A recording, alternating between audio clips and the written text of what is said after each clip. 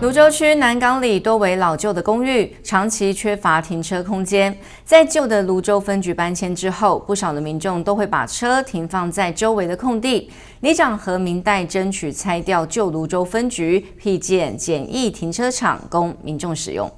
这里原本是泸州分局跟消防队，在陆续搬迁到新的停舍之后，附近不少民众都把车停放在这里。新北市议员李坤城争取拆除旧大楼，辟建简易的停车场。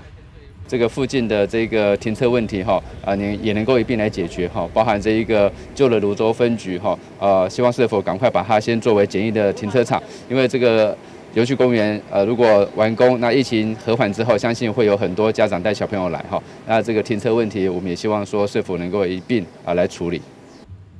泸州区南港里因为多为老旧的公寓，一直以来都缺乏停车的空间。里长也希望在旧泸州分局尚未做其他的规划之前，先提供附近的民众停车。那如果可以尽快把它交通局整治和呃分局拆除了之后，变成停车场，好，即便是临时的停车场，我相信民众他们都是愿意好遵。